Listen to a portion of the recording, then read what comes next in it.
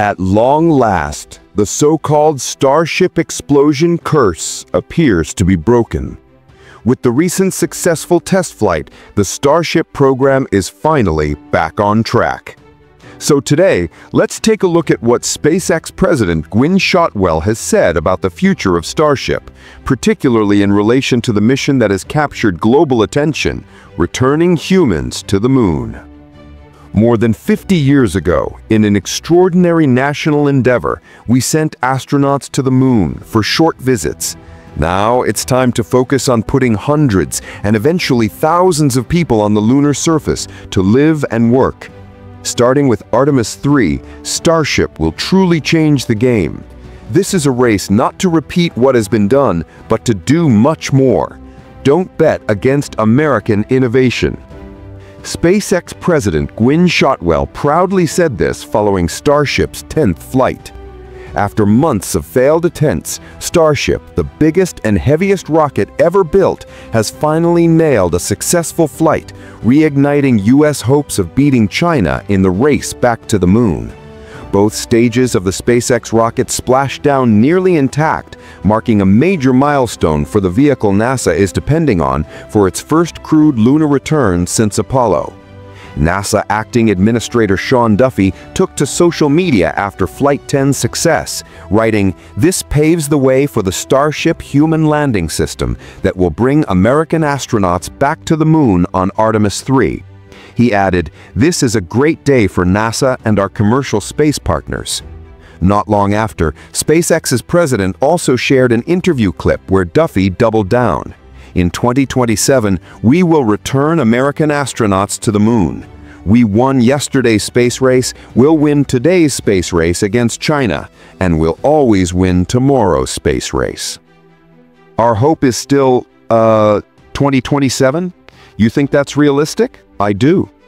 Not long ago, after attending a Crew 11 launch attempt at Kennedy Space Center, Duffy spoke to a group of social media influencers attending as special guests. Duffy shared that he had recently met with SpaceX executives about the Artemis 3 mission timeline and came away reassured. They feel very comfortable on Starship. They feel like they're on pace for the lander, he said. They told me if there's a holdup for Artemis 3, it's not going to be them. It's clear that SpaceX remains confident in the progress of its Starship program, and with good reason. The most recent test flight marked a significant milestone, the end of a series of three test missions that had fallen short of major objectives and in some cases resulted in the destruction of hardware during ground testing. The latest mission was a noticeable step forward, the Super Heavy booster executed a controlled return to a designated area off the coast, testing an alternate engine configuration for its landing burn. It hovered just above the water before splashing down. Meanwhile, Starship completed several key in-flight objectives. It opened its payload bay door and deployed eight Starlink mass simulators using a PEZ dispenser-style mechanism. Its re-entry was on target, and onboard cameras captured the final maneuver as the vehicle gently settled into the ocean. The flight wasn't perfect. One of the Super Heavy's 33 Raptor engines shut down during ascent, and early in re-entry, part of the Starship's aft skirt appeared to break apart. One of its flaps also showed visible damage. However, neither issue seemed to affect re-entry or the final landing sequence. Still, the successful test helps to silence some critics of Elon Musk and SpaceX who have suggested that Starship suffers from fundamental engineering flaws. The conversation is now shifting. The question isn't whether Starship can avoid exploding, it's whether its development timeline can. In that sense, Starship may be back on track, but it's still behind schedule. The string of earlier failures has set the program back significantly, putting it behind the aggressive internal milestones SpaceX had hoped to meet, not just for NASA's Artemis program, but also for the company's own ambitions, such as launching the next generation of Starlink satellites. SpaceX had originally hoped to complete many of the objectives of the most recent flight earlier this year.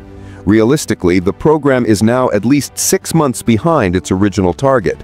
That said, if SpaceX can pull off another test flight within the next six weeks and see another round of success, they may be able to regain momentum. But not everyone is so optimistic.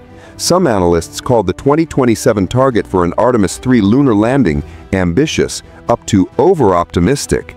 While SpaceX has repeatedly proven its ability to solve complex technical challenges, the scale and number of remaining hurdles are unlike anything the company has tackled before.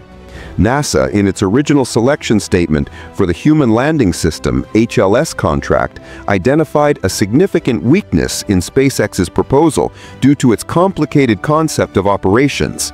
That complexity includes an unprecedented launch cadence and synchronized operations to enable in-space refueling, something that's never been attempted before. Without in-orbit refueling, Starship can only reach low Earth orbit, to travel to more distant destinations like the Moon or Mars, its tanks must first be refilled with liquid oxygen and liquid methane, delivered via multiple additional Starship launches. As a result, SpaceX must also prove it can launch and operate multiple starships in rapid succession, a capability that has never been demonstrated at this scale. NASA projected that between 6 and 10 cryogenic propellant transfers would be needed to fill Starship's tanks for a moon mission. But with each step forward, the challenges have proven even more intricate.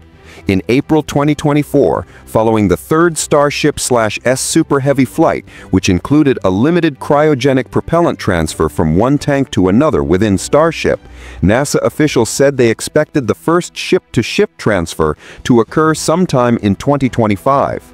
This demonstration will require placing one Starship in orbit and launching another to dock with it for the actual refueling process, an essential precursor to sending a lunar lander version of Starship to the Moon.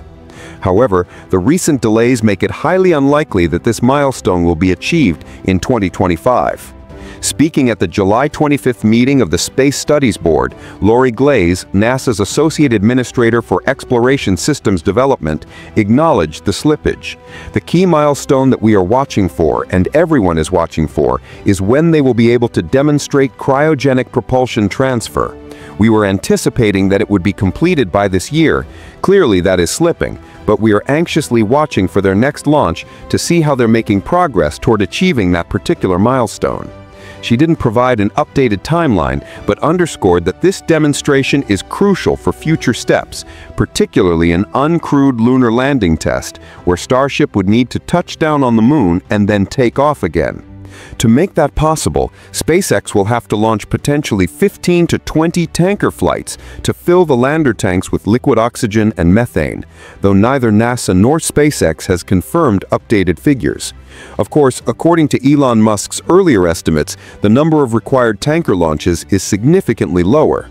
But the truth is, no one knows for sure, as this technique has never been attempted before. We still don't know the exact timeline for the required launches. Neither NASA nor SpaceX has provided one. But what is clear is that the pace of operations needed to support Artemis 3 would be nothing short of historic.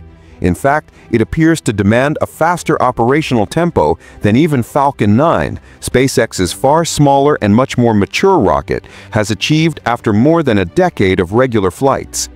Even once all the tanker flights and orbital logistics are complete, it remains unproven whether the fully fueled Starship can be human-rated, land safely on the lunar surface, and return astronauts to the Orion spacecraft for their journey back to Earth. That's why before Artemis 3 can launch, Starship must demonstrate that its Starship human landing system can both land on the moon and lift off again. Initially, NASA's contract with SpaceX only required an uncrewed lunar landing. However, that requirement has since been revised. The updated mandate now includes a launch from the moon's surface as part of the uncrewed demo. This shift likely reflects both the urgency of the Artemis timeline and a desire to reduce mission risk ahead of the first crewed landing attempt. When asked whether this additional liftoff requirement increased the value of the contract, NASA clarified that the change is part of its broader preparations for Artemis 3, which aims to return astronauts to the lunar surface for exploration and science. Under the revised terms, SpaceX must now complete an uncrewed demonstration mission in which Starship HLS lands on the moon, operates on the surface for a minimum of two hours, and transmits data back to Earth. Then, critically, it must relight its Raptor engines and launch back off the lunar surface. NASA officially amended the Human Landing System Appendix H contract in December 2023 to include this additional milestone. Notably, this requirement does not come with additional funding. Also, for this uncrewed test, Starship HLS is not required to reach lunar orbit. Simply demonstrating a successful lunar liftoff is sufficient to meet the updated criteria. Meeting all the necessary milestones to support a 2027 Artemis 3 mission is beginning to look like a tall order. At the recent Space Studies Board meeting, NASA's Lori Glaze presented a chart outlining the key milestones leading up to Artemis 3, including critical Starship testing. However, the chart notably lacked any dates. When asked for a specific schedule, Glaze said NASA had a more detailed timeline that could be shared with the committee. If such a document was provided, it has not been made public. Meanwhile, China has laid out